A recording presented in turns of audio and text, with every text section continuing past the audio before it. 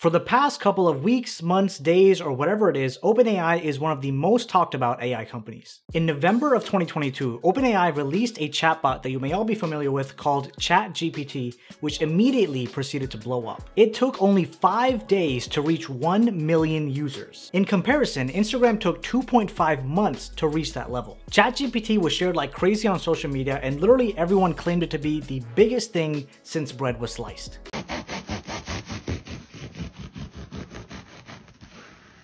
It helped people solve math problems, write essays, write basic code, solve world hunger. But I wanted to know how can we use it in the magic industry? If I were to come out with a book on card tricks, could I just use it to write a book for me? Let's find out what it can do. What up crew, hope you're doing well. I'm really excited to be creating and sharing this video with you. I have a background in computer engineering, so I wanted to see how I can fuse these concepts with card magic, and then OpenAI came out with ChatGPT and I'm like, you know what? Let's try this out. Fingers crossed that this is gonna be awesome. So before we get started, make sure to smash the like button, hit subscribe, grab your favorite deck of playing cards if you have one, and now, let's do it.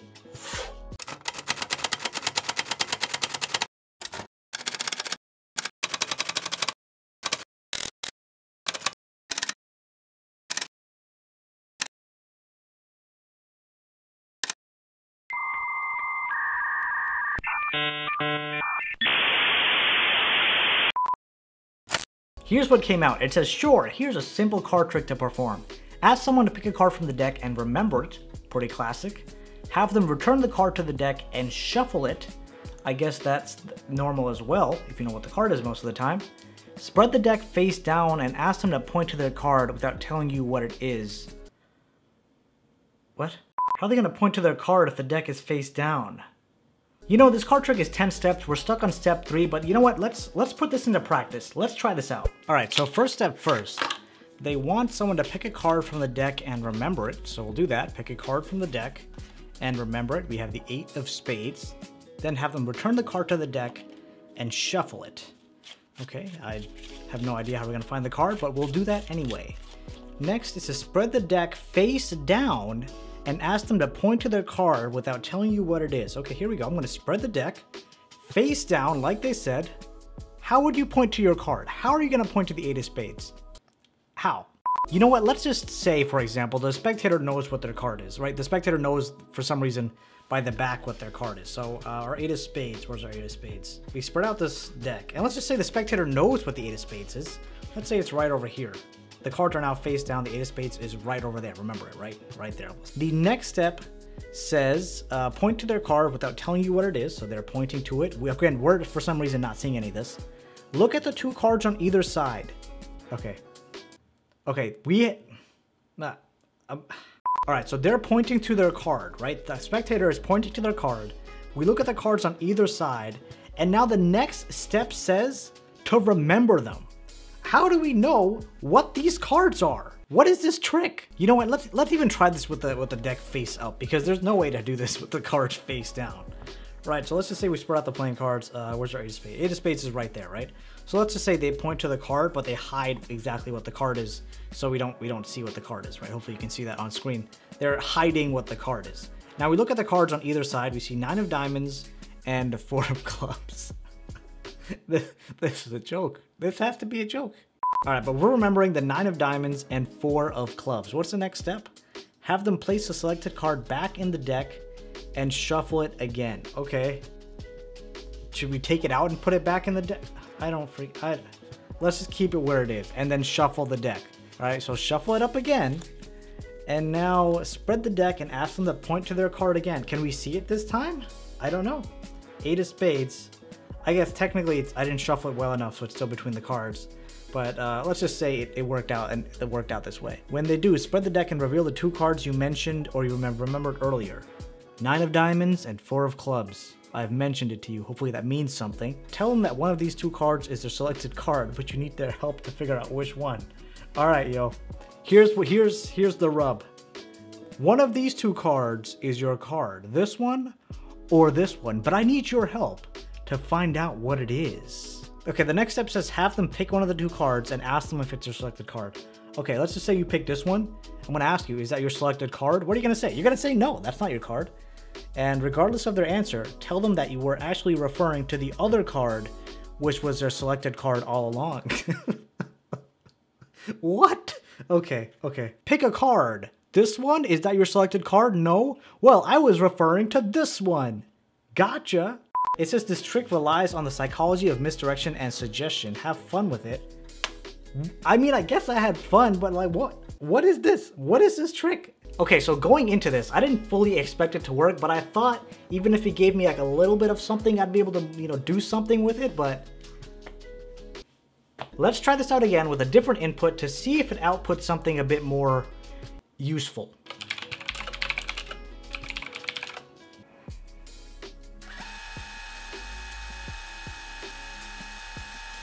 Okay, again, this says start by shuffling the decks, ask them to pick a card, put it back in the deck, hold the deck in your hand, ask the person to tell you the name of their card, put the deck face down, and ask the person to point to their card.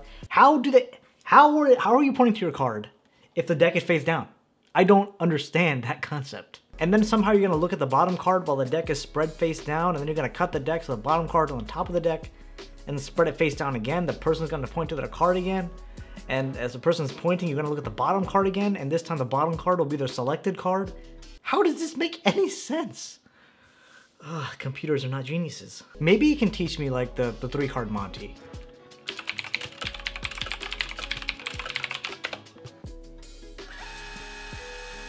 Okay, this seems a bit more reasonable so far.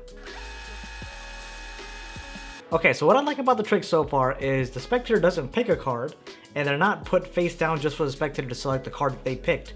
This is actually, a, you know, a three card Monty, which I'm sure you've seen many, many scam videos about those. Okay, but now here's what they're saying to do. Uh, grab three cards, ace, king, and queen of the same suit. All right, let's do that. All right, that part's done. Nice and easy. Ace, king, and queen of the same suit. Uh, next thing is the goal is to get the spectator to pick the wrong card. Start by shuffling three, uh, the cards and place them face down on the table. You know, I, I lied. The spectator has to choose one of the three cards, but we can't let them see it? Okay.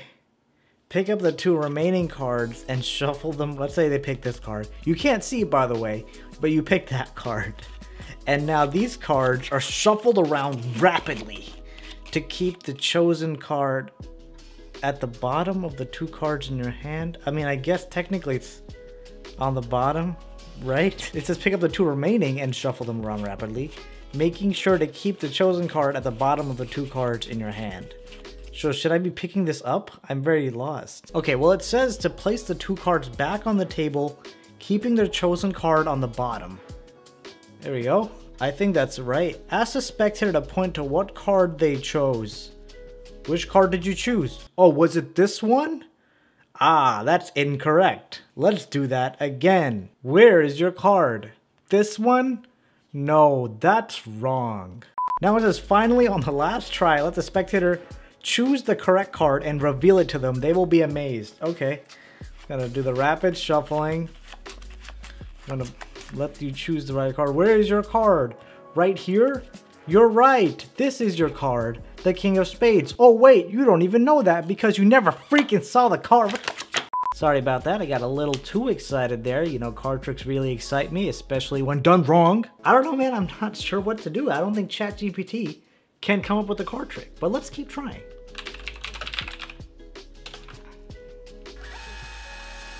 Okay, already spread the deck face down, ask the person to point to their card. Next.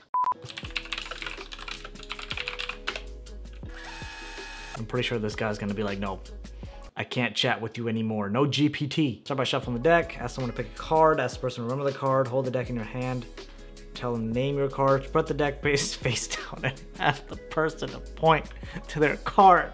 No! I honestly think they just have one card trick where you just, they have to point to the card and that's it. I think that's it. That's the only card trick it can come up with. It knows nothing else. Okay, the four of a kind trick. Okay, this sounds like it could be heading in the right direction.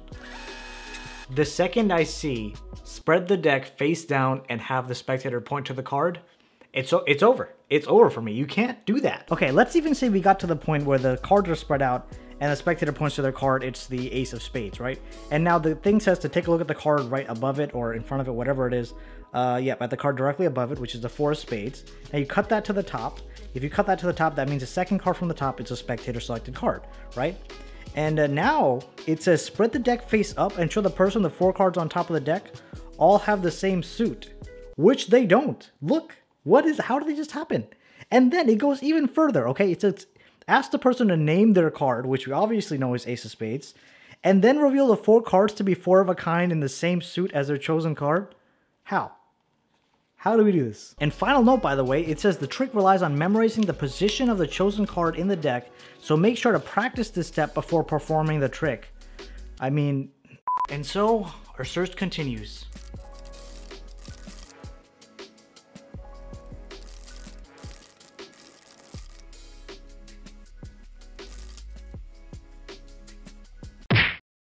So I've been at this for quite some time now. I'm really starting to lose all hope.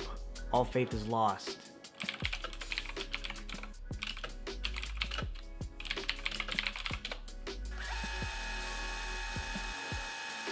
So I had an idea. I asked ChatGPT Dai Vernon's best card trick, and it gave me some information on Dai Vernon saying he was uh, the professor, legendary magician known for his skills with card magic, and it has, one of his most famous tricks was the ambitious card. Now, this is a routine where the card kind of rises to the top once you push it somewhere in the center. But I'm curious to see, can ChatGPT give me a tutorial on the ambitious card routine?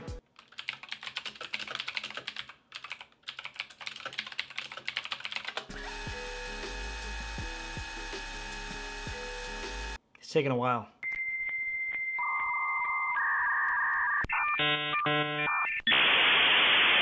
And I got a network error.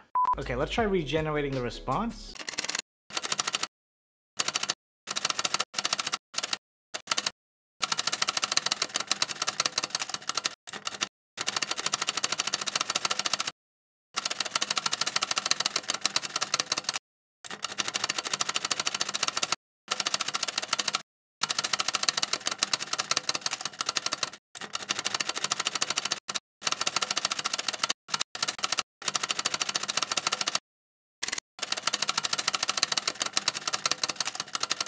You know what? I've been at this for three hours. Let's just try it. Take a deck of cards and ask someone to choose a card. Make sure they remember the card and replace it back into the deck. Hold the deck in your left hand with your thumb on top of the deck and your fingers curled underneath. Say, I'm going to make your card rise to the top of the deck. Push the selected card up just enough so that it sticks out the top of the deck. Push the card back down into the deck with your right thumb. Repeat steps 4 and 5 a few more times. Each time the selected card rises to the top of the deck and then falls back into the deck. Finally, push the selected card all the way up to the top and show it to the spectator as if by magic. That's it, yo. I seriously think that's the best that we're gonna get. So I've definitely learned a lot today when it comes to the limitations of AI it cannot do magic. So my magical and non-magical friends, your biggest takeaway from this video should be that if you want to learn magic, you subscribe to The Card Mechanic. Thanks so much for watching. Peace out. I will see you soon.